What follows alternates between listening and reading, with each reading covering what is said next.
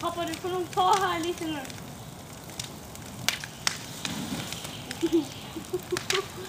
Yeah!